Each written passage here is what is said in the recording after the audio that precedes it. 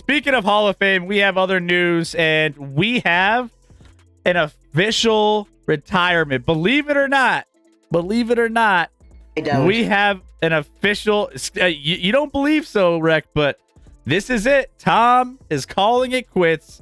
He is finally, officially, via was it an Instagram post, uh, Instagram Live or something, where he decided that this was it, and he is hanging it up for good. I no, mean, this no this graphic alone proves it. Like, look, he's he's slowly dissolving into the matrix. He's just gonna disappear, and everyone will be like, "That makes sense. That dude's not human. He's not a real human being. no, He's just slowly gonna vanish into the matrix or whatever." Yeah, exactly, and that's what he's doing. Uh, so Tom Brady calls it quits officially. Uh, uh, now he has retired before, but this after the year he had in Tampa Bay, after the whole situation off the field with his wife and all the things going on with that, where I mean that was that that's got to take your toll. I mean the guy's what forty five right now, and so it's like, at what point is it just like just go home, like you said, Scotty, go be a dad to your kids go go go hang out with them and just Go- uh yeah enjoy make it the like thirty-five million a year you're gonna make at Fox. Yeah. Just It- do oh, that, man. he's he's gonna make more money at fox than he did his entire nfl career scotty. Yes. uh so there's that. But let's just uh you know talk a little bit about what he's accomplished. He was the first player in nfl history to win a super bowl championship in three different decades. Go figure. I mean that's kind of what happens when you're in the league for as long as you are. Uh, he's one of two quarterbacks to start and win a Super Bowl with multiple franchises, along with Peyton Manning.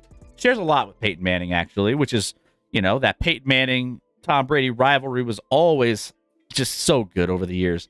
Uh, two players in NFL history with the following five plus 4,000 yard seasons, an MVP, two Super Bowl wins, and a Super Bowl MVP, Peyton Manning and Tom Brady since turning 40. Um, I mean, he's uh, he's just he he's he's a, he's great, right? There's a lot to Yeah. Yeah. Yeah. I mean, yeah. I mean, winning seven Super Bowls is pretty good. He's clearly the most accomplished Yep. player in the history of the game, right? And that could stay forever. I don't know.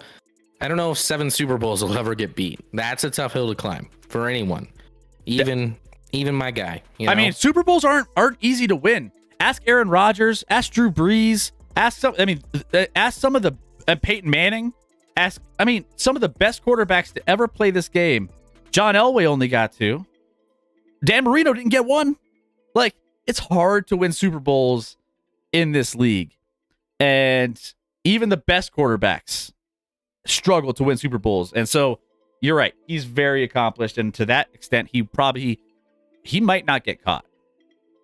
Yeah, I mean, now I think as time goes on, Chris, to be honest, because everyone right now he's like, oh, he's the goat, and for me, certainly the most accomplished and and best leader on, on a, a team, you know, and, and leading at the quarterback position, and obviously elite quarterback, but was he the best?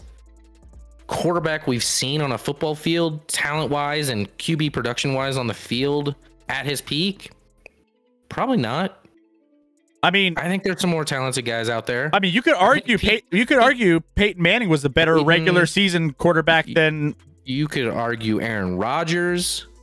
Obviously, Mahomes is going to have a claim down the road here as he if he continues doing what he's doing. Um, and everyone's like, yeah, but he won seven championships. Let's put it in NBA terms, Chris. Bill Russell won what, eleven? yep Or whatever it He's, was he's got a shit. He's Celtics. got a shit ton. He was the best player on a, a Celtics team that won eleven titles. he's never considered the goat. No one considers him the greatest of all time. No one.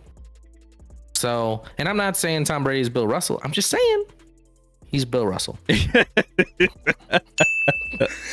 Yeah. Uh, let's get to the chat here real quick. Uh, best Zach for real. What's up, Zach? How we doing? Uh, remind me who your team are, where you where you're from. like to get. I, I, I sometimes I forget if you haven't been here before. If you know it's been a while. What's up, Matty Ice? How we doing, my friend? Good to have you back in. Uh, I'm glad. I'm glad Matty Ice is at least winning Super Bowls on a video game. yeah. See. Retribution for that 28 to three disaster. yeah, you got to win them at some some level. What's up, Matty Ice? Uh, hey, you got congratulations. Uh, I'm at 21 How's Retro Bowl. 21 Retro Bowl championships. It, it is Marty. Oh, sorry, it's Marty Ice now. Sorry, uh, Marty. Uh, He's such a Marty. he still has seven Super Bowls. Says Diaco. Yeah, he does. He's he's very That- he's good at winning Absolutely. those. And no one, it, I I don't know if anyone will beat it ever, ever. No, It's gonna be really, really difficult to do.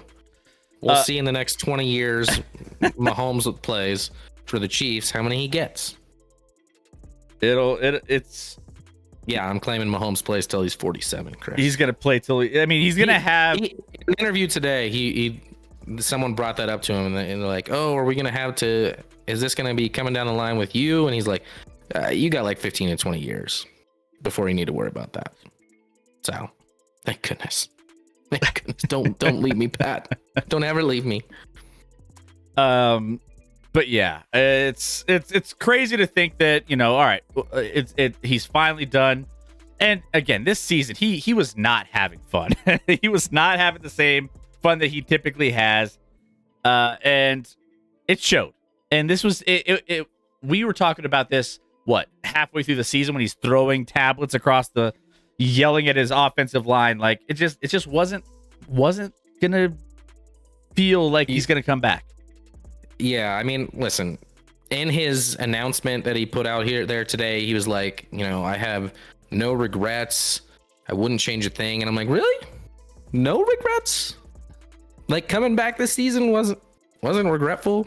I mean, Ending getting divorced because you came back for one mediocre season wasn't a regret for you. Mm. Okay, yeah, all right.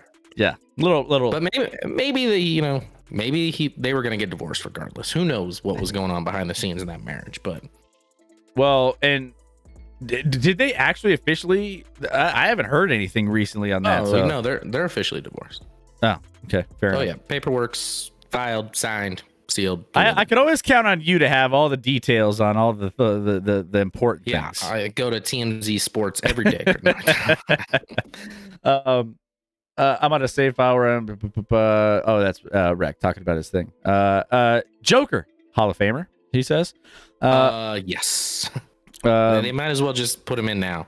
You know what? You know what this might mean? Um, Aaron Rodgers may not want to retire.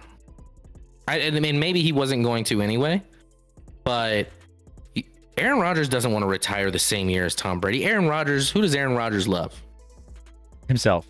Aaron Rodgers loves Aaron Rodgers. Himself. He doesn't want to go into the Hall of Fame where it's just a love fest for Tom Brady the same year as him. He's not gonna and he get the gets attention. No attention. He gets no attention. Aaron Rodgers is hundred percent Roger, coming back next year. Where, where that where he'll play, I can't say, but he's coming back next year for sure. Now that now that Brady retired. Aaron Rodgers, he was talking on the Pat McAfee show about like, oh, some other people are making these or, or talking about decisions for my future. Uh, and like little passive aggressive little comments and this and that. I'm just like, of course, we're talking about you right now. Uh, like what are we, what else are we talking about?